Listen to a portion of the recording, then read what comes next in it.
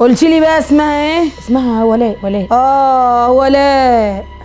ولاء عبد الرحمن القروبة. آه آه آه. عرفتي منين؟ كله بإذنه. حي. هي بتعمل فيديوهات على النت. عارفة. عايزة إيه؟ أصل أنا عاملة صفحة جديدة. عايزة الناس تبطل تتابعها وتتابعني أنا. جبتي لي حاجة من قطرها؟ آه آه. اتفضلي.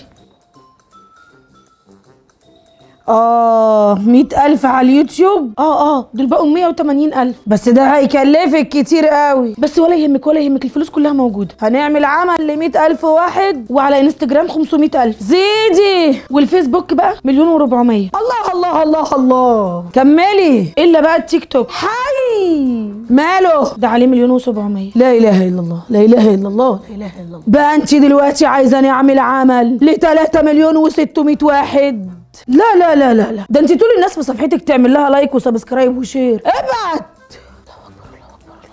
حسبي الله ونعم الوكيل. هو إحنا ليه بنأذي بعض؟ ليه السحر والشعوذة والكلام الفارغ ده؟ هل ده ضعف إيمان ولا إحنا مش قريبين من ربنا كفاية؟ ولا نفوسنا وحشة ومريضة وما عندناش عدم تسامح ولا عدم رضا؟ وبعدين لا المستوى الثقافي ولا الاجتماعي ولا التعليمي بيغيروا حاجة، دي بقت ظاهرة موجودة عند كل الناس. ده أنا حتى أعرف واحدة خربت بيت بنتها بسبب انانيتها وفضلت وراها بالسحر والأعمال لغاية يعني ما خلت جوزها طلقها والبيت اتخرب وكان في عيال كمان وما همهاش بسبب انانيتها الغيرة والحقد الزيادة دول أول حاجة بتخلي الناس تتخلى عن دينهم وبتسمح للشيطان يخليه يلعب في دماغهم ويروحوا يعملوا سحر وأعمال علشان بس ترضي غرورها. وفي ناس واليعوذ بالله بتعمل الأعمال من كتر الكره اللي جواها ويبقوا مبسوطين وهما شايفينك وانت واقعة في ضيقه وساعات كمان مش الكره بس الحب الزيادة كمان. آه الحب وحب التملك بيخلي الواحد ممكن يعمل أعمال. إذا كان شاب وبيحب بنت وعايز يتجوزها بالعافية أو إذا كان بنت بتحب شاب وعايزة تلفت نظره وهو مش شايفها أساسا. وفي شباب ما بتحبش تحس إن هي مرفوضة. فيلا بينا نعمل سحر علشان نوقف حالهم وما يرتبطوش بأي حد بعدين ومعظم الحاجات دي دجل وشعوذة وفي منها نصب بس اللي بيلفق منها ربنا ما يوريك. ومحدش يقعد يقول لي إيه اللي انت بتتكلمي فيه ده يا ولاء؟ السحر والجن مذكورين في القرآن. وفي ناس بيكفروا وليعوذوا بالله علشان يعرفوا يسخروا جن. ويعملوا لهم كل اللي هم عاوزينه ويشتغلوا على قفاهم بقى. في ناس كتير متخيلة إن الأعمال والسحر زي الحسد. بس لأ الحسد حاجة والسحر والأعمال حاجة تانية خالص. الحسد كده كده موجود في حياتنا على طول وبيحصل بقصد أو من غير قصد. وساعات بيكون الحسد أشد من السحر وبيحتاج علاج أكتر من السحر كمان. وكلنا معرضين ليه طبعا. وزي ما أنا قلت الحسد ممكن يحصل بقصد أو بدون قصد. يعني انت نفسك ممكن تبصي لاولادك كده وتحسديهم غصب عنك. أو واحدة صاحبتك جابت حاجة جديدة مثلا وانت من غير ما تقصدي حسدتيها لأن ساعات الحسد بيبقى طالع بنية إن إحنا مش راضيين بعيشتنا. طب لا قدر الله لو حد معمول له سحر أو عمل. نتعامل إزاي؟ العلاج بالقرآن ده أول حاجة. وتاني حاجة في ناس بتفك الأعمال والسحر. إحنا بقى دورنا إن إحنا لازم طول الوقت نحصن نفسنا وبيتنا واولادنا عن طريق الفروض إن إحنا ما نفوتش ولا صلاة. وكمان أذكار الصباح والمساء وكده محدش هيقدر علينا. بسم الله الرحمن الرحيم النور اتطفى ليه لا أنا كده هخاف. تعالوا ننزل في الشمس على ما النور يجي. كنت سألتكم عن مواقف حصلت قدام عينيكم عن السحر والأعمال وحكيتوا لي في الكومنتات حاجات كتير قوي. يلا بينا نقراها سوا. نوع بتقول في واحدة كانت بتعمل سحر ولما خوفتها من عذاب القبر قالت لي لما نموت مش هنحس بحاجة كمان فاتت في عذاب القبر. منك لله يا شيخ. ربنا يحفظنا جميعا. مش عايزة أقول لكم بقى نص الكومنتات أو ثلاث ارباع حسبي الله ونعم الوكيل حسبي الله ونعم الوكيل. واضح إن ما حدش سلم من السحر والأعمال. هند بتقول مرة كانت في واحدة بتوجب مع جيرانها عشان في مشكلة حصلت. والواجب هنا مش اللي بالكم فيه اللي هي واخده لهم طبق حلويات ولا شوية عصاير. الواجب من نوع تاني. بتقول لقيناها في الفجر. رميه رجل وجناحات وراس بط على باب البيت. وأبويا كان نازل يصلي الفجر جاب شوية مية وقرأ عليها قرآن وبطل العمل. وأختي ساعتها كانت نايمة وحلمت إن البيت مولع نار وفجأة المطرة مطرت والحمد لله البيت ما ولعش. سبحان الله أختها حلمت باللي كان هيحصل بالظبط. والمطرة اللي مطرت دي القرآن اللي بطل العمل. أنس بيقول بنقوم نلاقي فاصوليا بيضة مرمية على عتب الباب وعلى الشبابيك. ده أكيد يا أنس الجيران عندهم عيال صغيرة وبيرموا الطبيخ من الشباك. ولا أقول لك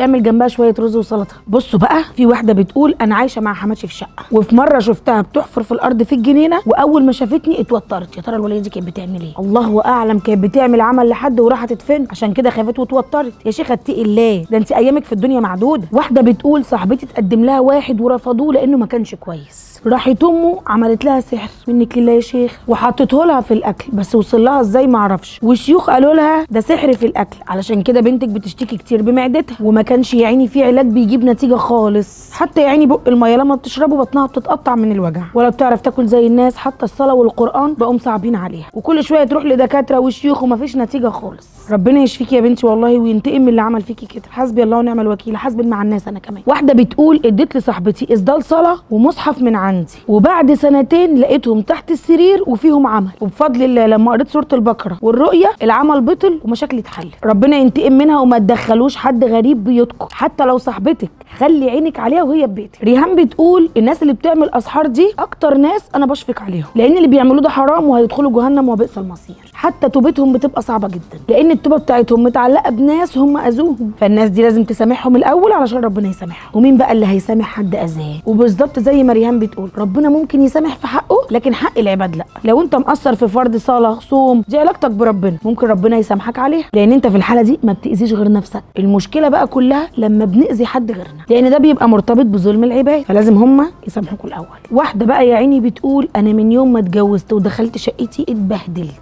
وبقى عندي أمراض وطول الوقت تعب وأجهضت كذا مرة وبدون سبب ورحت لدكاترة كتير ومشايخ وكل المشايخ اللي رحت لهم يقولوا لي انت عليكي سحر قوي ويهربوا وما يكملوش وأنا في القصة دي بقالي حوالي 20 سنة أحلى أيام شبابي راحت في الأمراض والمستشفيات وحتى كان في مشاكل بيني وبين أهلي وبين أهل جوزي بس خلاص سلمت أمري لله ومنتظرة قضاءه شوفوا وصلتوا الناس ليه؟ منه لله اللي عمل لك العمل ده يا شيخ واحدة بتقول أنا عارفة إن الحاجات دي مذكورة في القرآن لكن أنا مش بصدق الحاجات دي بصراحة وكل لن إلا ما كتب الله لنا. أنا فاهمة قصدك بس أنت بنفسك قلتي إنها مذكورة في القرآن فهي فعلا حاجات موجودة. أنا ما بخوفكوش بس لازم ناخد حذرنا ونحصن نفسنا طول الوقت ونحصن بيوتنا وأولادنا. ندى بتقول واحدة صاحبتي كانت مخطوبة لواحد قريبها وكانت في بنت تانية عينها منه وعايزة تخطب. فعملت عمل لصاحبتي بالأذية والقلق والتعب. وصاحبتي يا عيني فضلت سنة تعبانة وما كانش ليها علاج خالص. لحد ما ناس قالوا لها على شيخ وبعدين راحوا الشيخ قال لها إن معمول لك عمل ولازم نعرف مكانه الأول علشان يتفك. وفضلوا يدوروا عليه ثلاث شهور لغاية ما لقوه وبعد ما اتفك